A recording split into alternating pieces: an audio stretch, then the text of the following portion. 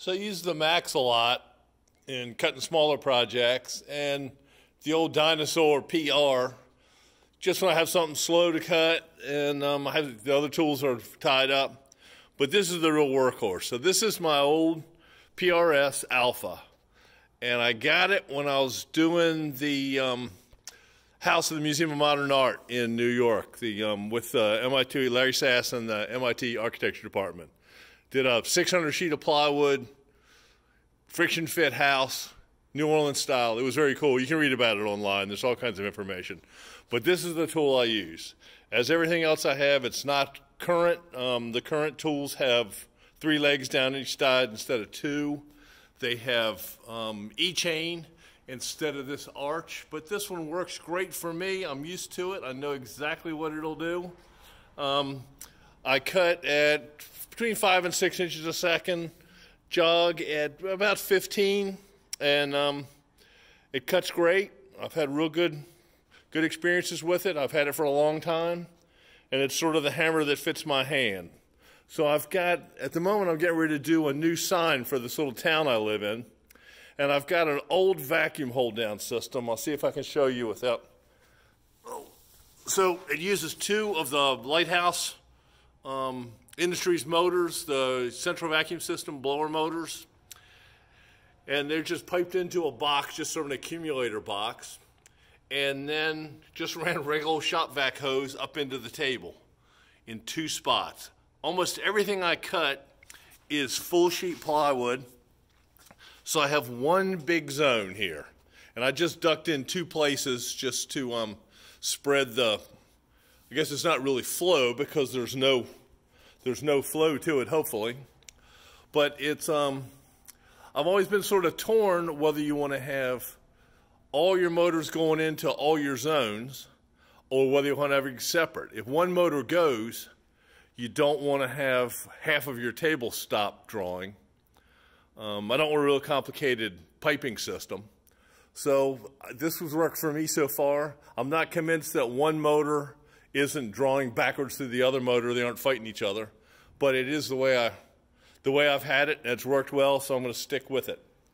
Um, it's probably the third set of lighthouse motors I've used. After a while, they just sort of burn up. They're, I bleed a little bit of air in just to keep um, keep them from being deadheaded.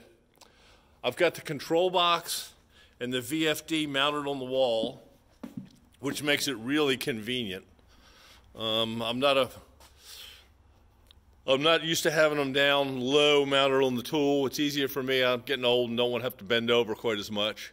And I'm actually running this tool off of an of a beta version of Fabmo, the um, open source operating system. So it's actually running off this Raspberry Pi. Um, Ethernet connected to my computer. I can also run it um, off my phone or anything, and I'm sort of exploring to see what the how well it works. So far, I've been cutting with it for six months or so on this gantry tool, and um, I'm, I'm liking it a lot. I'm running on just about everything in the shop now to test, except for the old dinosaur tool. It just doesn't. Um, it's too old everything is just too old in it to be able to run the, the newest stuff. The control box is old. Um, so both of the motors are wired in to just a switch here on the wall. So when I want to turn the vacuum on, I just flip the switch, and it pulls the um, it pulls the sheet down really tight.